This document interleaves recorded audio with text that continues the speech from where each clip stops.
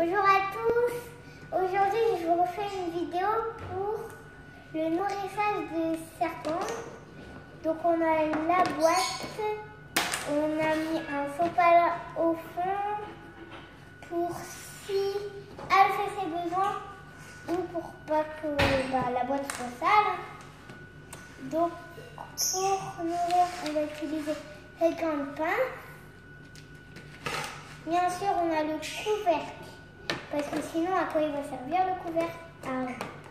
Donc, pour le serpent. Donc, à quoi sert la boîte?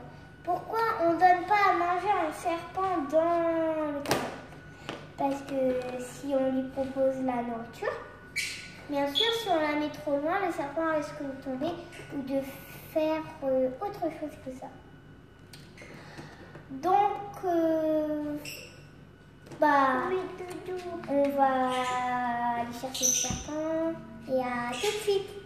Donc là, on va donner une souris congelée à Diana, mais pour cela, on va devoir la décongeler quelques minutes dans l'eau chaude. Donc elle flotte. elle flotte. Donc pour cela, on va aller chercher Diana et le temps qu'on ait la chercher, je vais laver les mains. De suite. Là, on l'a sorti de son terrarium. Donc bien sûr, il a fallu attendre bah, quelques minutes pour qu'elle se décroche de son arbre parce qu'on n'a vraiment pas réussi. Donc là, on va la mettre dans la boîte. Donc j'ai la grande pince, il y a la souris. Donc le mec va présenter par Léon.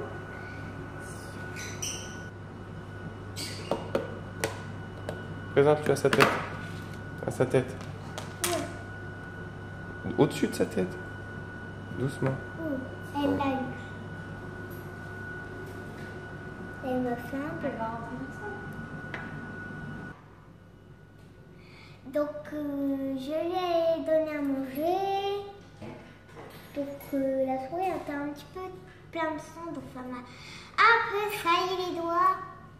Et aussi, euh, bah, comme d'habitude, ce serpent adore attraper la souris par le cou et surtout adore euh, prendre la souris et s'enrouler bien sûr pour cacher sa tête.